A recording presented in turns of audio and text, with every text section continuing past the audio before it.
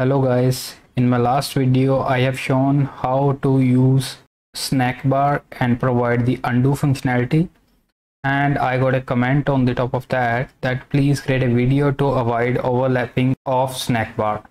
So let's take a look on this first what is overlapping of snack bar and then we will see how to resolve it.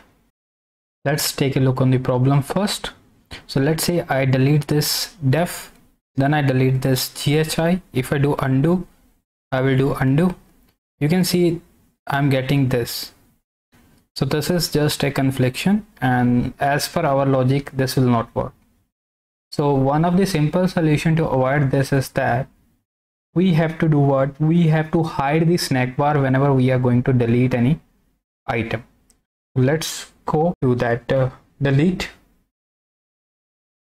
And what we were doing over there so on tap we were just doing this functionality. But before that we have to hide the previously shown snack bar which was uh, giving us the undo functionality. So once we do that this will not uh, cause that kind of problem.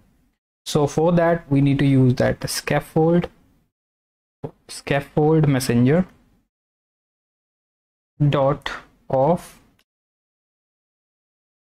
and context so there is one method. Hide current snack bar. Okay. So once we will call this method okay. Once we will call this method so once we click on the delete this will hide the previously shown snack bar and then you can see the new one. So let's see. So by this we can just prevent that problem so i delete this abc undo abc is fine. I delete this ghi ghi abc now i will undo. So you can see abc is only coming. We are not getting any conflict. So that is all for this video. If you have further any doubt do comment in the comment section. Otherwise like share and subscribe. Thank you